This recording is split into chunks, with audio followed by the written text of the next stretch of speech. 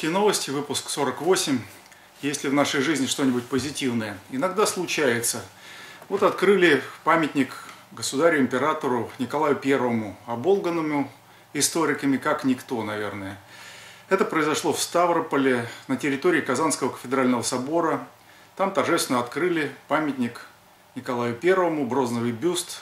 Там открыли бронзовый бюст российского императора и был торжественный троекратный залп из стрелкового оружия, после чего митрополит Ставропольский и Нюнамысский Кирилл совершил чин освящения памятника. На постаменте памятника выгравирован лозунг, объединяющий три начала исторической российской государственности, который был сформулирован графом Уваровым в годы правления императора Николая I – православие, самодержавие, народность. Э, значит, этот лозунг еще жив и будет жива Россия, пока ставят памятники императорам, пока их память чтут, пока понимают русскую историю, русский народ жив.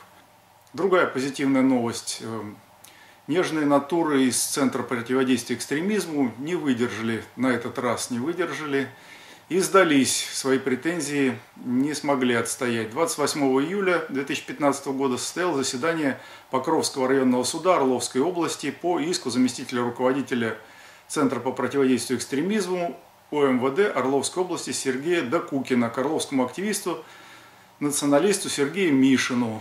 В своем иске полицейский, выступивший как гражданское лицо, потребовал с ответчика компенсировать моральный вред в размере 30 тысяч рублей. Неплохо, да?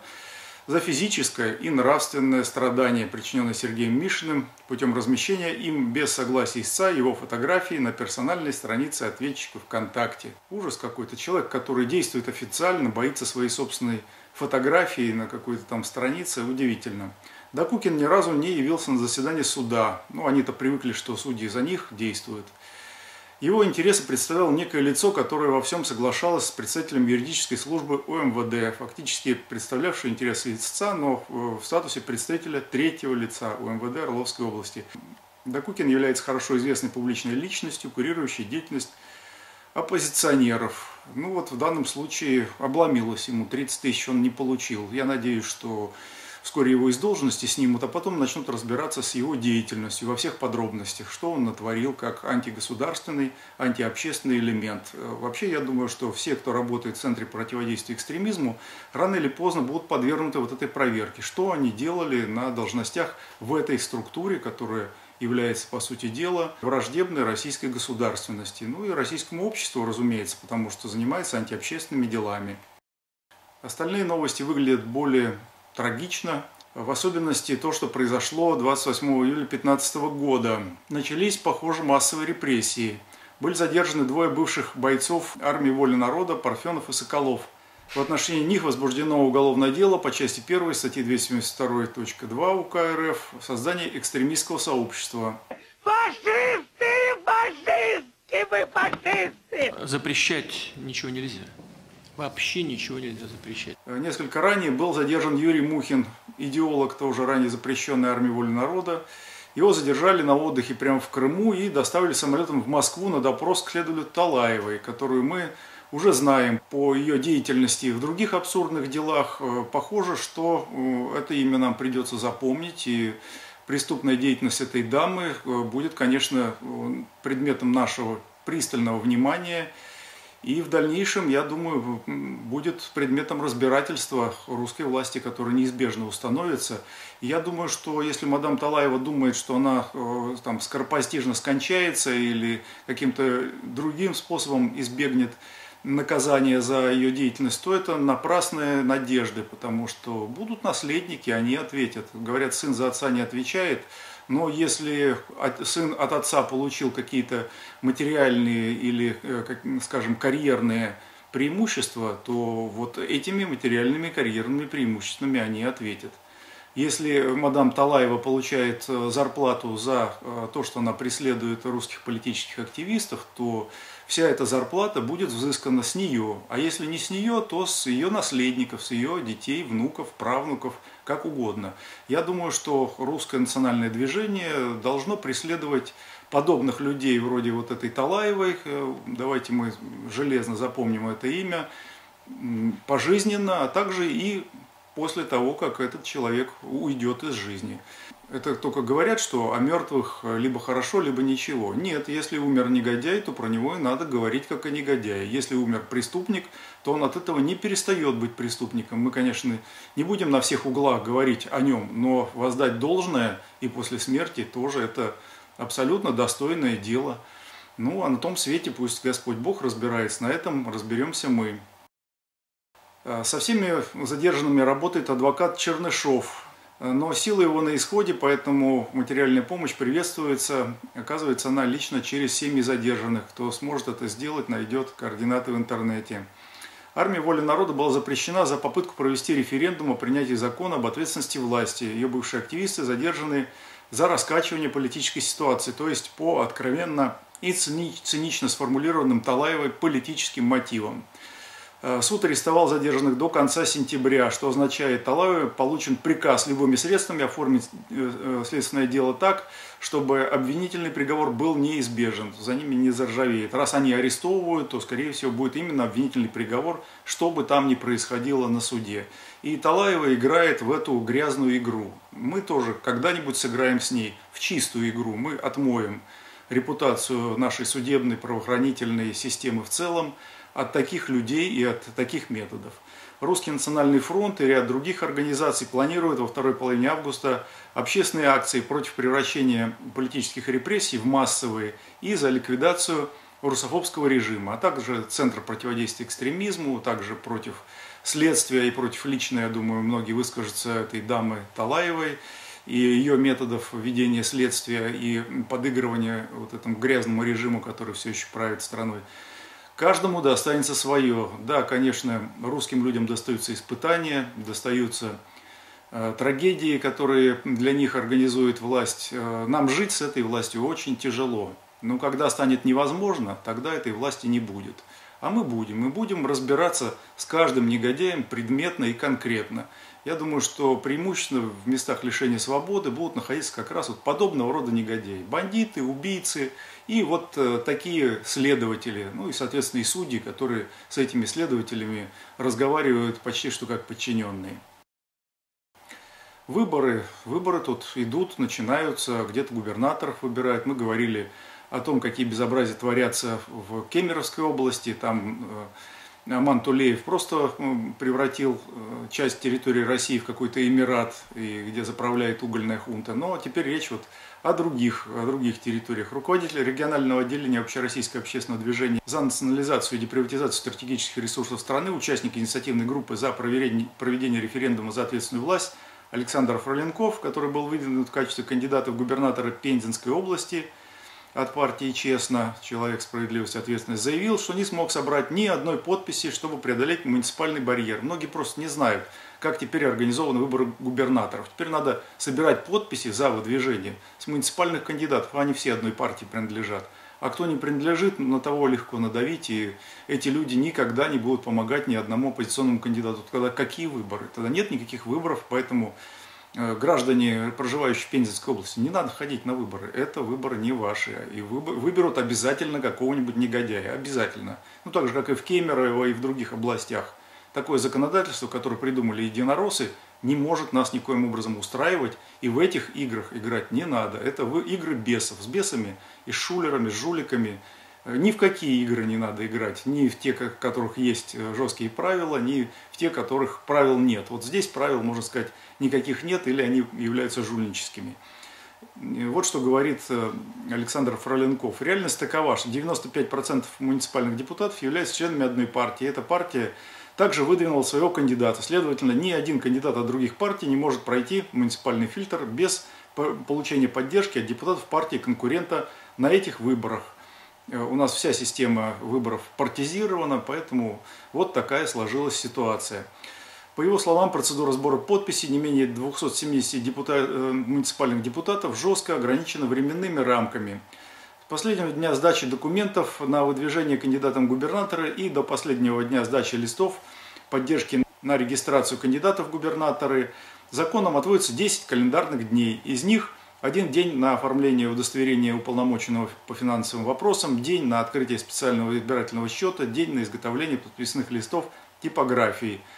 Последовательность не может быть нарушена ни на минуту потому как все расходы должны быть оплачены только со специального счета кандидата в губернатора. Таким образом, имеем 7 календарных дней, на 2 из которых приходятся нерабочие дни. То есть реально получаем 5 дней на сбор 270 голосов поддержки от муниципальных депутатов. Дальше 270 делим на 5, получаем 54 голоса в день. 54 делим на продолжительность 8-часового рабочего дня и получаем, что в час необходимо собрать 6-7 подписных листов, э, которые необходимо заверять нотариусом. И происходить это должно в разных районах области одновременно. Закон допускает, что сбор подписей могут проводить доверенные лица кандидата, и их может быть до 199 человек. Еще один момент. Услуги нотариуса, удостоверяющие подписи депутатов, должны быть оплачены. Стоимость одной такой услуги составляет 100 рублей опять э, вычисляем и получаем, что необходимо для этой процедуры минимум 27 тысяч рублей.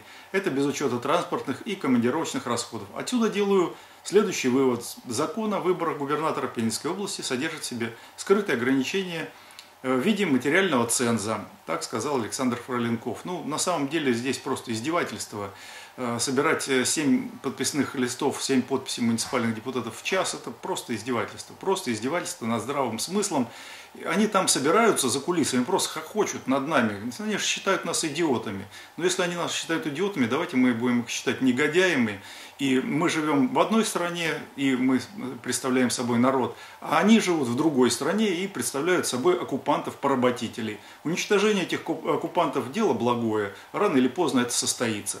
Кроме того, Александр Фроленков добавил, что в районных администрациях ему отказались предоставить контактные данные депутатов, ссылаясь на Э, закон о персональных данных, ну это и вовсе абсурд. Вы должны собирать подписи, но неизвестно где. Вы не знаете, как этих людей найти, то есть знание их там фамилий, э, имен, отчеств, ничего вам не дает. Вы их просто не найдете. Э, семь подписей в час вы не соберете, даже не потому, что вы не сможете быть одновременно в семи местах, но просто потому, что вы не знаете, где эти места. Вот и все.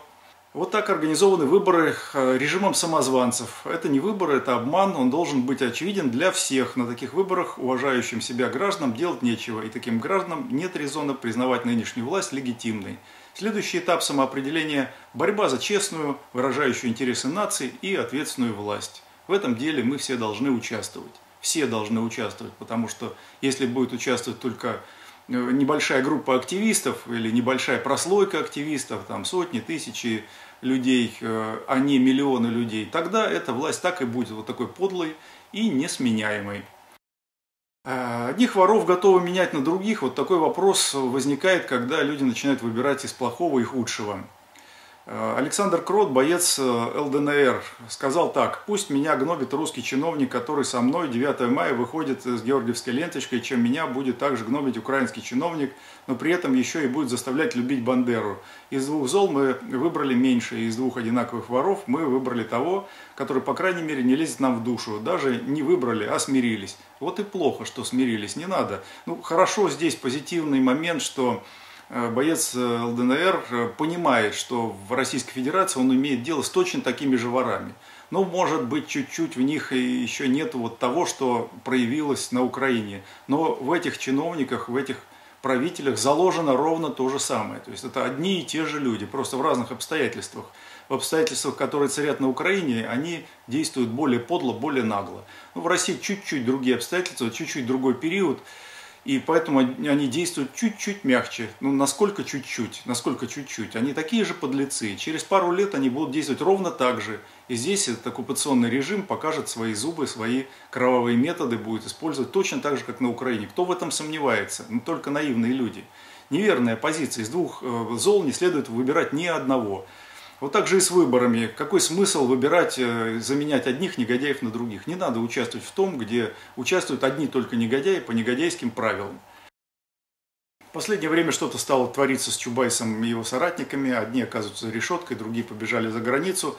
О том мы не знали, что Чубайс вор. Может быть, нам власть начинает наконец открывать глаза, но мы-то уже живем давно с открытыми глазами. Мы, я имею в виду наших соратников, участников русского движения, общественных активистов.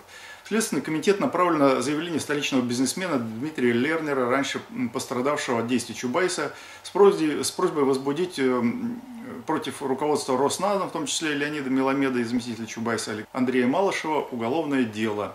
Сам заявитель потерял по вине Роснано более 250 миллионов рублей. Интересно знать, откуда он взял их. Может быть, точно так же, откуда берет деньги и э, господин Чубайс. В сообщении говорится, что Чубайс и другие топ-менеджеры госкомпании провернули мошенническую аферу, похитив значительный объем бюджетных средств.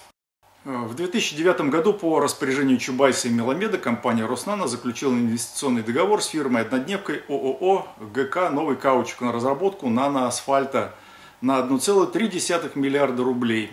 Большая часть этих денег пропала, а новый каучук обанкротился. Ну, это же жульничество стопроцентное, тут э, не надо было даже проверку проводить. То есть, как услышал наноасфальт, сразу в рожу надо бить, понимаете, и э, наручники на руки. Ну, у нас другая страна, другие правители, точнее. Страна-то у нас э, нормальная, государство нормальное, а вот правят в ней отъявленные воры и негодяи. Вот вроде Чубайса и людей такого же типа.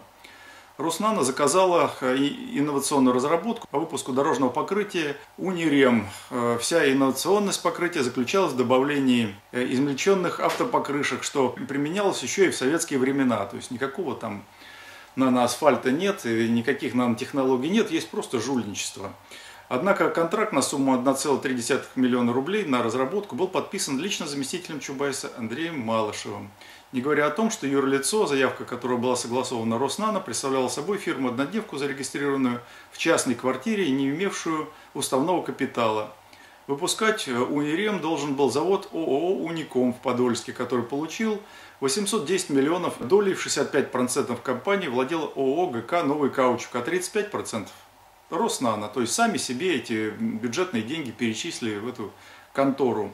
Дмитрий Лернер понес убытки в размере 500, 252 э, миллиона рублей после того, как его брат Михаил занял у него эти средства под залог э, доли в новом каучике в 2009 году, принадлежащего его тестю Александру Вершинину. Однако Дмитрий Лернер не смог получить в итоге ничего. Его родственники вскоре попали под суд по обвинению в мошенничестве и получили уголовные сроки 6 и 3 года заключения в колонии. Ну, я думаю, что он сам тоже из таких, и по нему тоже колония плачет. Само же предприятие, на долю в котором мог бы претендовать Дмитрий Лернер, оказалось банкротом. Новый каучик разорился в начале 2015 года. Уником тоже обанкротился.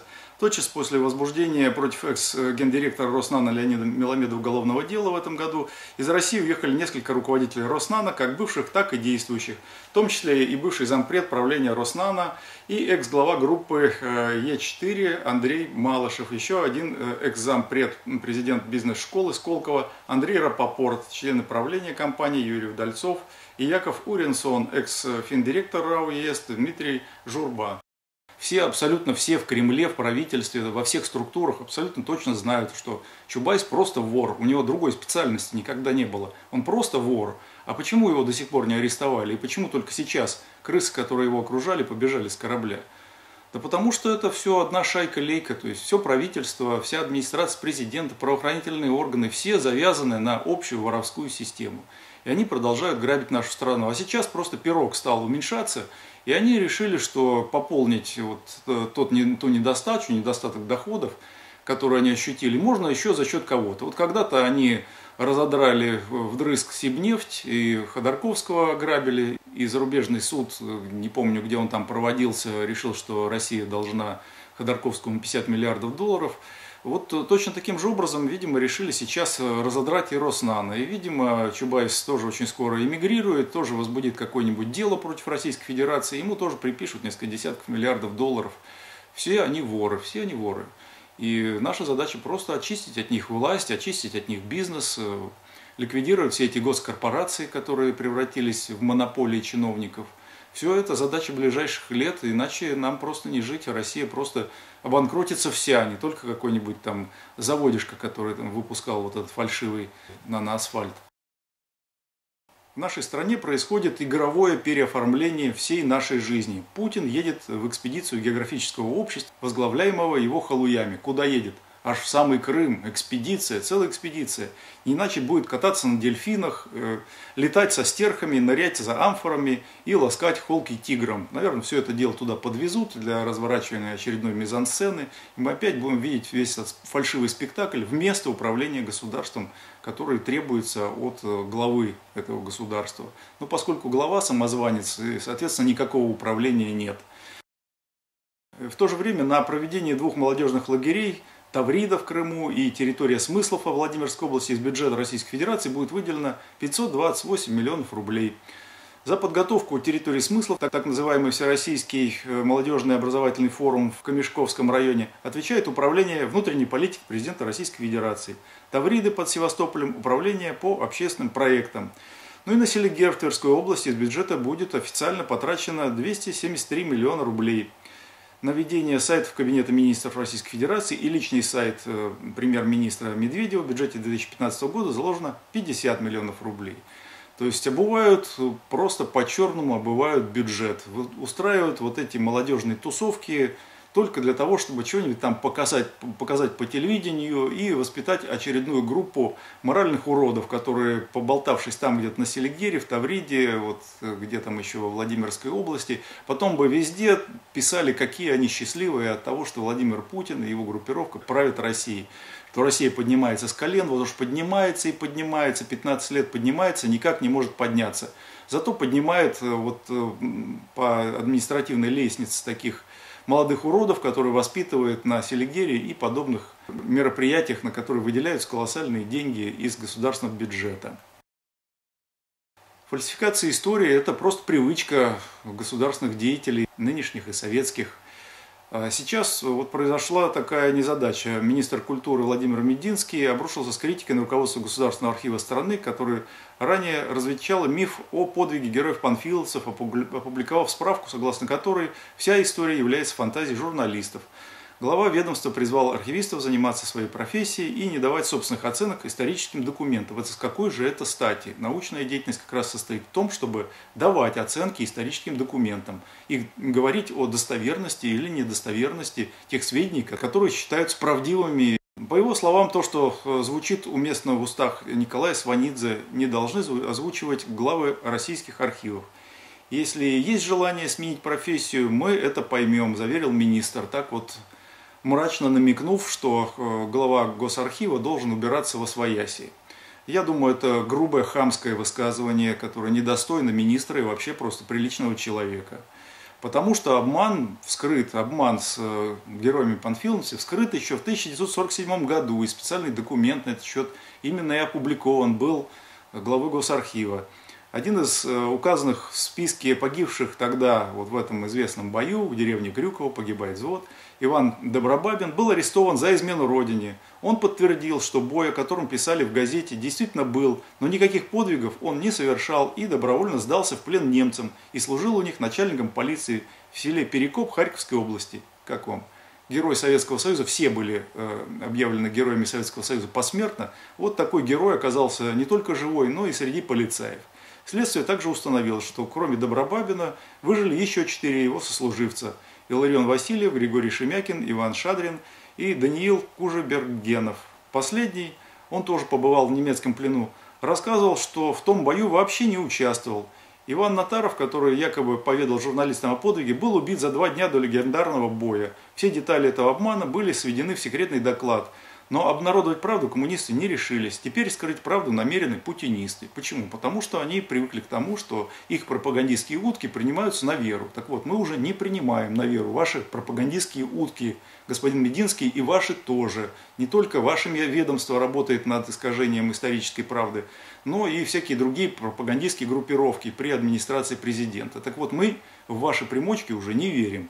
И то, что опубликовало руководство Госархива, это был поступок совершенно правильный, честный и добросовестный. Именно с такими людьми и нужно иметь дело. Но господин Бединский, видимо, не хочет иметь дело с теми, кто считает историческую правду подлежащей публикации. Я как-то раз в эфире одной из телевизионных передач встречался с Мединским. Мне он показался вполне разумным человеком, за исключением того, что он считал Владимира Путина просто каким-то светочем российской государственности, а не жуликом и самозванцем, каким считаю его я. Ну, эта разница несущественная, по крайней мере, переходящая. Как только Путин перестанет быть президентом, и Мединскому не надо будет вот эту глупость э, выдавать в эфир и от себя лично ее публиковать. Ну вот э, то, что произошло с публикацией справки, э, с публикацией справки Госархива и вот этого секретного документа еще 1947 года, меня очень сильно обеспокоило, и э, я стал сомневаться, действительно ли Владимир Мединский став впоследствии министром культуры, сохранил свою добропорядочность и сохранил способность воспринимать правду. Большевистские лозунги и плакаты выглядели ярче. Вот, мне кажется, что в данном случае он показал, что он уже не способен к этому, не способен. Если министр у нас э, такой, что исполняет только поручения вышестоящего начальства, то нам не нужен ни такой министр, ни такое начальство. Но все-таки министр Мединский э, точно не такой уж дебил, как его начальство. По крайней мере, он различает понятие национализм э, и нацизм. Об этом как-то вот было сказано в одной передаче, он лично прямой речью это сказал. Это большая редкость вообще во властных кругах, э, такое отличие. Им невыгодно это отличие. Они всех националистов хотят, хотят проводить по статье нацизм и, соответственно, пресекать всякую деятельность националистов в массовой информации, в публичной сфере. И желательно, чтобы все националисты, все, кто действительно любит Россию не просто на словах, а в делах и в политическом, в политическом действии выражает эту любовь, все они должны отправиться в места заключения. Это убежденность подавляющего большинства тех, кто сидит у нас во властных структурах. Вы фашисты! Вот Мединский на словах, по крайней мере, видит разницу между национализмом и нацизмом. Это уже большое дело. Э, поэтому в данном случае, скорее всего, Мединский отыгрывает какой-то закулисный разнос, который ему устроило вышестоящее начальство. Ну, кто ему мог устроить разнос? Ну, либо Медведев, либо Путин. Других вариантов, видимо, трудно себе представить. Глупость его высказывания похожа на какой-то спазм. К сожалению, действующая власть ведет себя так, как будто бы у нее спазм стал хроническим. Наша задача вышвырнуть эту власть и к ждущим ее чертям и утвердить свою русскую власть.